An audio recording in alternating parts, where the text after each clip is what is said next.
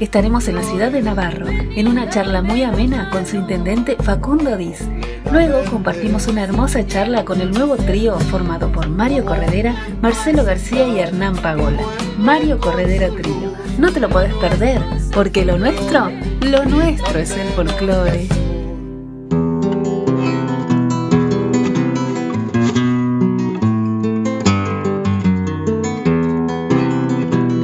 Aquí pulso mi guitarra y en mi canto emocionado vaya mi copla sentida a semejante invitado. Metió goles a rolete, hizo al hincha muy feliz, engalanando el programa. Hoy vino Facundo Dilara, la la la la la Hoy vino Facundo Díaz, intendente de Navarro, una ciudad con historia, paisanos de buena laya, acuden a mi memoria. Por eso, querido amigo, mi canto voy terminando. Relájese, compañero, que ya le voy preguntando. Bienvenido Facundo. Eh, esto es un homenaje que, yo le hago a Navarro en tu persona. Y quiero que cuentes qué es haber sido, pues yo traigo lo, del futbolista que fuiste, porque yo tengo gente conocida que te adora, gente que fueron de Albois, eh, de, de otros, y me decían, es un buen tipo. O sea, yo lo que he recogido aquí es que todo el mundo dice, qué buen tipo que es mi intendente, ¿no? Bueno, muchas este, gracias. Así, conta un poco... primero, gracias por, tanta cultura, tanta arte, qué linda música, gracias por lo que regalaste, bienvenido a Navarro. Eh, bueno, sí, mira, fue lo que me han inculcado mi familia de chico.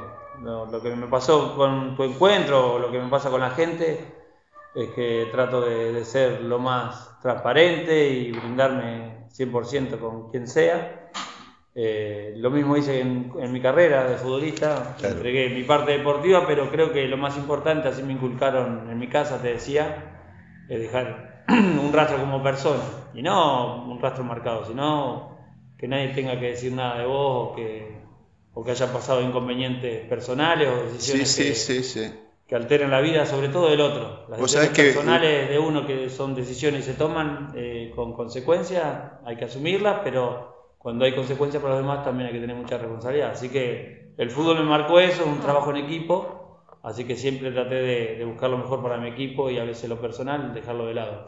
Vos sabés que eh, yo cuando digo eh, paisanos de buena laya, ¿no? que acuden a mi memoria, me traen también a mi familia. O sea que yo soy una familia que nació mi papá en Trenquelauquen y mi mamá en Bragado.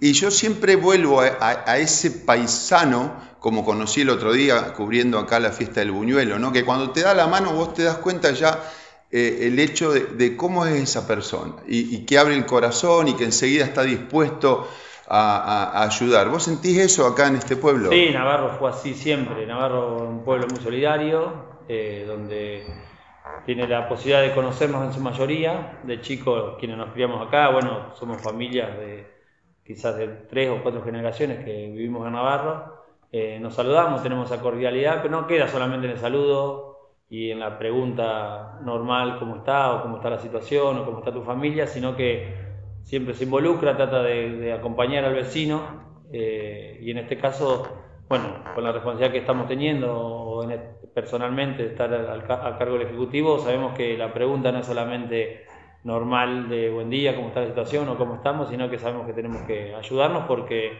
eh, el pueblo tiene esa idiosincrasia de, protección para con los vecinos, el tema de seguridad eh, y también en caso de que suceda algo estar al servicio y, ayudarnos entre todos. Muy bien, y por ejemplo, yo lo que noté también que es una ciudad que le da mucha importancia al folclore, a la danza folclórica. Contá un poco. Bueno, lo que pasa es que Navarro, gracias a Dios, tiene un contenido histórico muy rico, pobre en el sentido que eh, tuvo el fusilamiento de Rebo acá. Sí, sí. Eh, por eso mismo lo digo pobre, porque entristece que se haya querido matar una idea de un federal claro. que reivindicó al federalismo y seguimos luchando hoy en día por, por esa idea de país que queremos. Eh, y también el tema de danza, folclore y costumbres típicas del gaucho, del paisano. Eh, fue siempre una ciudad agrícola ganadera, entonces está eh, contemplado, está relacionado. Y hubo muchas instituciones que han luchado para que no se pierda esa identidad como pueblo, que se pueda seguir investigando sobre nuestra historia. Y también hubo funcionarios públicos que se ocuparon. En el caso de Raúl Lambert, que, que está en gestión, él está reivindicando nuestra historia nuestro pasado reciente eh, y también el tema contemporáneo y, quizás a futuro también, porque lo que estamos haciendo, lo que está haciendo Raúl, es dejar una huella para que eh, quizás las nuevas generaciones que por ahí no contemplan mucho la historia o, la aceleración que nos está llevando de esta vida que tenemos adelante, mucha tecnología y mucho futuro, eh, quede instalado culturalmente en, en en un musical, en una estatua, en una escultura, en un cuadro. Exactamente. Eh, en los colegios, en formación. Así que hemos dejado sobre la mesa qué pasó en Navarro, quiénes vivieron, qué se hizo, cómo se vivía, eh, para realmente saber quiénes somos y, no perder eso que teníamos como pueblo o que tenemos como pueblo.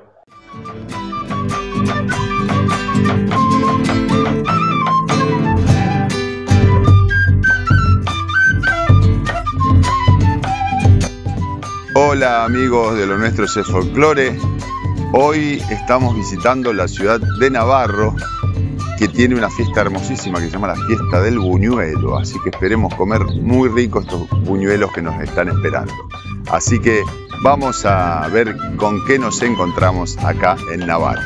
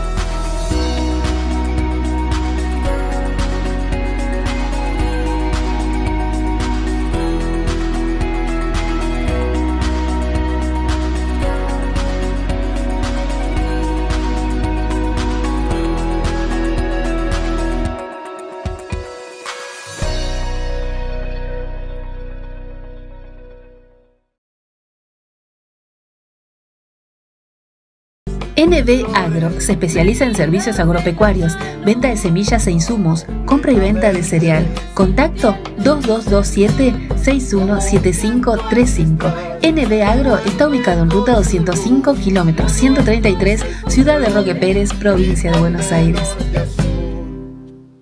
Si vas por la 205 hacia Roque Pérez, ahí nomás de la rotonda está la parrilla El León, atendida por su dueño Alberto El Porra. Si vas de parte de lo nuestro es folclore, seguro te hace un descuento. Parrilla El León, la mejor carne de la zona. El histórico Gran Hotel 25 de Mayo reabrió sus puertas y te ofrece las mejores instalaciones para tu descanso, todo el confort y el mejor servicio. Gran Hotel 25 de Mayo te espera en calle 27 entre 5 y 6, en la ciudad de 25 de Mayo, provincia de Buenos Aires.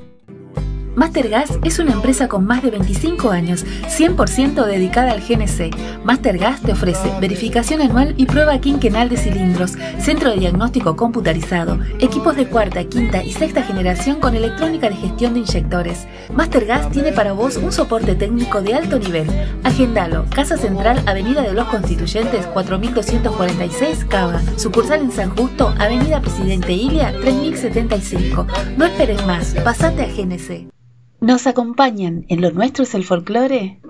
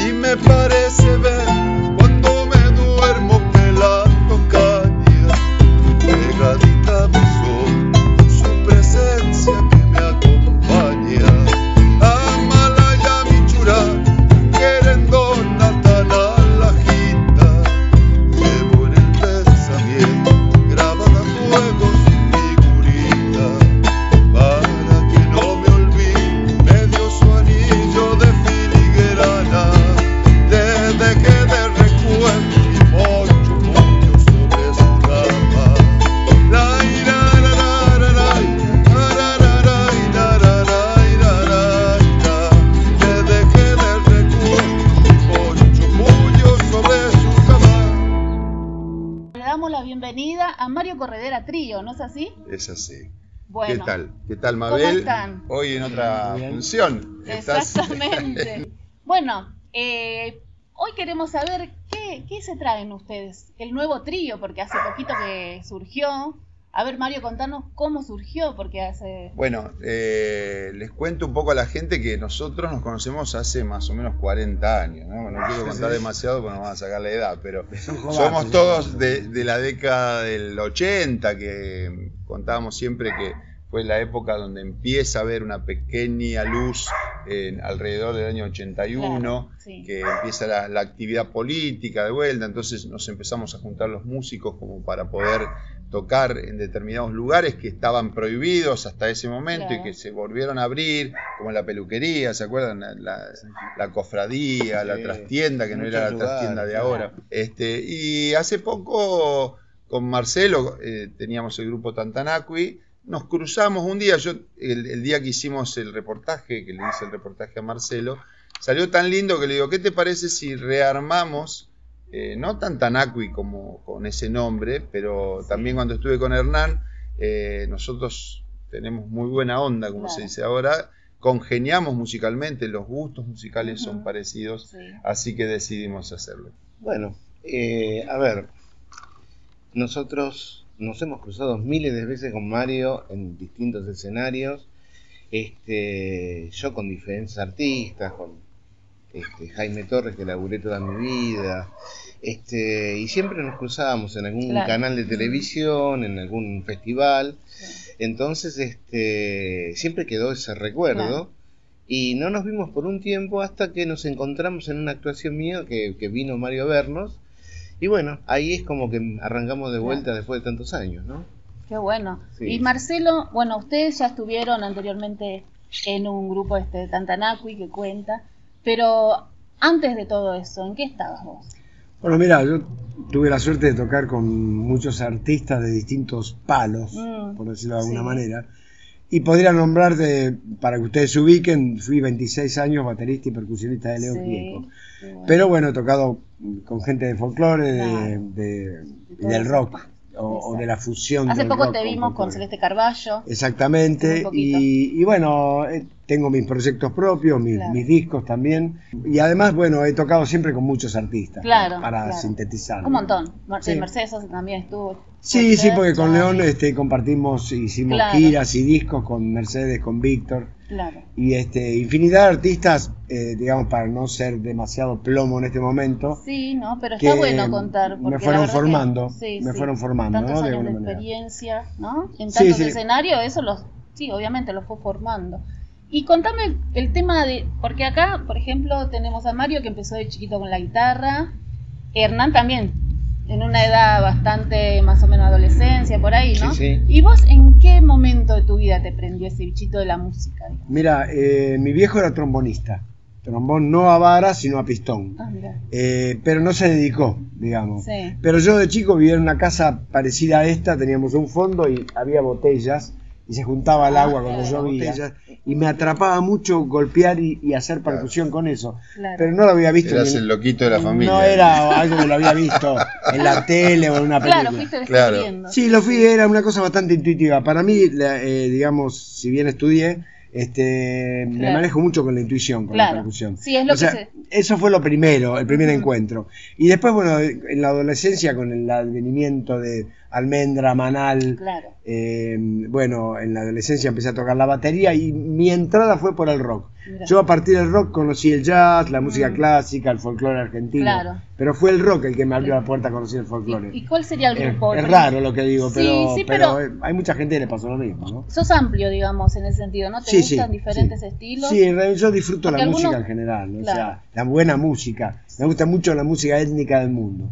Es lo que más escucho, en Claro, realidad. mira La música folclórica de los distintos paisanos del mundo, digamos, ¿no? Eso está... Eso me, me parece muy muy cultural, digamos, Sí, tal eh, cual. digamos, porque así uno asocia el folclore nuestro a esas etnias del mundo Claro. y ves que el ser humano es muy parecido en muchas claro. cosas, Exactamente. Eh, como decía Hernán, este, vientista, pero también tocas os- otros instrumentos, ¿no es así? Sí, en realidad mi formación, este, yo arranqué como flautista, este, pero empecé a tocar el bajo de muy chico, el clarinete, lo que pasa en esa época tocar el clarinete, este, con la valijita, todo el mundo venía a jugar a la pelota, Claro, dale. claro. Este, no estaba bien visto este, ir con una valijita y en vez de ir a jugar con, Claro, el chico. clarinete, claro. entonces, este, arranqué también por el rock porque estaba mejor visto. Eh, después empecé a estudiar flauta traversa en el Conservatorio Nacional. Este, mi formación es clásica. Es más, este, el eh, la música folclórica es un accidente en mi vida. En mi familia, mi mamá cantaba en el Colón, mi tía era solista del Colón. Este, mi abuela fue la primera eh, pianista del Conservatorio Beethoven en la Avenida Santa Fe. Estamos hablando de 1800 y pico también. Este, entonces, imagínate que eh, yo venía de una familia de músicos Claro. y yo escuchaba mucha música clásica. Este, y después este, entré en folclore porque me cautivó el sonido de la quena. Una vez que lo descubrí, claro. gracias a Uña Ramos, ¿no? que fue el primero que escuché que me voló la cabeza Claro. ese sonido. Y como no había en ningún lugar este, instrumentos afinados que Sí. se consiguieran, empecé a hacer mis propias, mis propias este, flautas. Claro. Contá así- esa parte eh, cuando te regalan ese libro donde venían las instrucciones. Ah, bueno, mi abuela. a partir de ahí claro, empiezan, ¿no? Más o mi menos. abuela tenía 12 años y me regala un librito donde salía cómo fabricar una, una flauta con caña y con un corcho de. ¿Cuántos de años tenías? 12, 13 años Ah. nomás. Soplé y sonó y ya Claro, era qué wow. claro, Por acá va. Entonces este, me quedé. Y nada, y tuve la suerte que desde muy chico arranqué muy bien con el folclore, este, porque eh, en un momento este, empecé a trabajar con Raíces Incas, un grupo que ya estaba con un contrato firmado en RCA Víctor. Este, entré y ya tenía programado una gira a Japón. Bien. Este, grabé un disco a los tres meses de estar en el grupo. Este, tuve la suerte de, de- de tener buenos trabajos. Sí. Este, y con en esa época que uno se iba de gira en octubre y volvía en marzo, ¿no? Porque eran giras Porque enormes. allá en Europa pegaba mucho esto del folclore. En ¿no? Europa pegaba mucho y ya este, yo me fui a vivir a Europa y por esas cosas de la vida, cuando vuelvo, este, Perla Aguirre me, me llama este, para ir a Cosquín. Este, y yo estaba recién volviendo. Me acuerdo que me volví para la, la- la democracia y me acuerdo que me había llamado León para tocar este, que fue ese Luna Park donde estuvieron todos. Y ahí, este, bueno, este, me fui de vuelta, volví, de- siempre me fui y volví, ¿no? como todo el mundo. Nunca me pude ir del todo. Y ahí es donde me llama Jaime Torres y bueno, me quedé veintipico de años, 24 años tocando con Jaime Torres y alternando un poco con León, con Baglietto, con la gente que me llamaba, así este también, lo mismo que Marcelo, un montón de artistas, pero siempre este, al lado de Jaime hasta que Sí, este, murió. hasta ¿no? que partió. Sí, sí. Esto es lo lindo, ¿no? De, de los tres que nos hemos cruzado muchas veces en programas, con Jaime, claro. eh, en programas de Argentinísima, con Julio Marvis, eh, me acuerdo, un re- ¿te acuerdas cuando tocamos en Vélez? Que fue como una especie de cosquín que se hizo en el año 82 y nosotros fuimos teloneros de Jaime. Este, Era un orgullo para nosotros, que Sí. recién empezábamos y estar tocando entre esos monstruos. Íbamos al camarín y estaba Samba Kipildor, eh, los chalchaleros, los fronterizos, toda gente que uno veía por la televisión y de repente la vida te pone en esos lugares Claro. son maravillosos. Sí, sí, sí. Bien. Bueno, es una, una suerte que se hayan juntado ahora.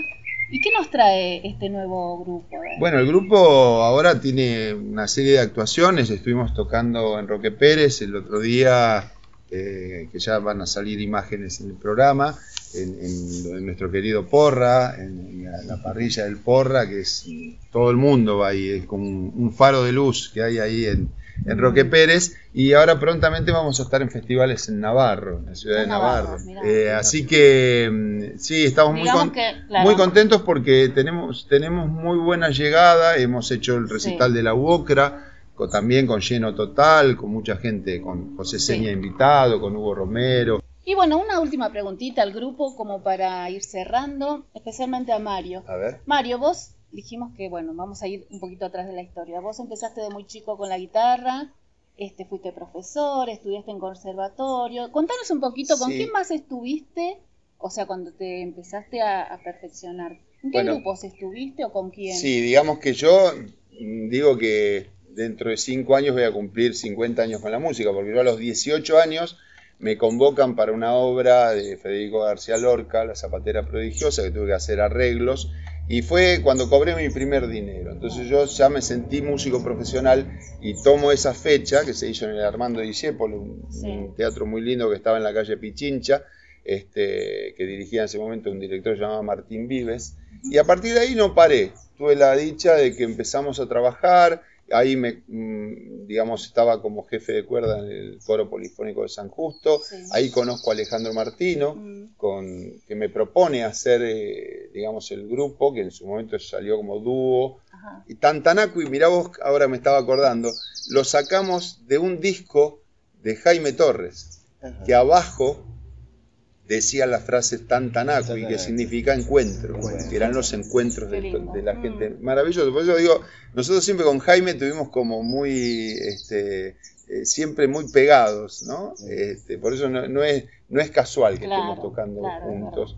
Después siguió mi carrera, bueno, toqué con Inés Rinaldi, con Jovita Díaz, con Marián Farias Gómez, fue una experiencia con Marián impresionante, Claro. ahí anduvimos por todo el país. También en el teatro. En el ¿es teatro así? trabajé mucho como músico, Claro. eh, digamos, como eh, compositor de músicas de teatro y como arreglador también, Claro. con directores como Rubén Correa, Santiago Doria. Y ahí conozco a la querida Virginia Lago, Claro. este, hicimos una obra que se llamó Vivir en Voz en la década del 90 y más para acá ya me llamó para componer, digamos, músicas para poemas de Borges. Sí. Hicimos Borges, Un rostro en el espejo.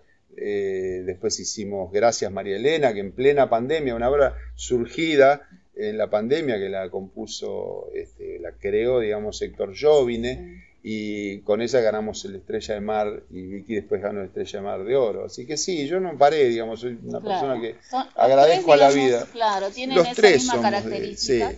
Y somos hacedores. claro. Nosotros nos, nos denominamos cuando hablamos entre nosotros, somos laburantes, somos trabajadores del arte. Es eso. Y por otra parte tienen una buena vibra entre ustedes. Ah, sí, Como que se obviamente. llevan No me bien, hagas llorar, no me hagas llorar a esta hora de la mañana. No, pero bueno, hay que decirlo. Ya eso me, me conmueve.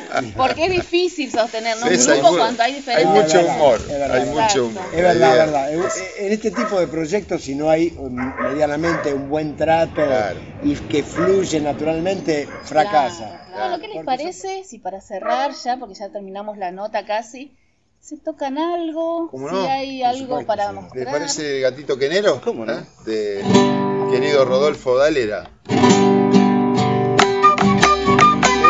Ese gato.